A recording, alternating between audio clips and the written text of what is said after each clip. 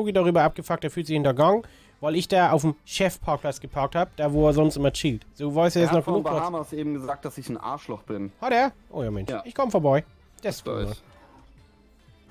Klicker will jetzt Brian zur Sau machen, aber übelst. Kommst du mit? Yes! Ja, natürlich. Viel Spaß. Ja, ja, ja, ja. Brian hat ihm hier von Bahamas wohl als Arschloch bezeichnet, das hat er mitbekommen. Was? Kn Brian hat Knicker als Arschloch bezeichnet? Mhm. Jetzt also reicht die das. Kündigung.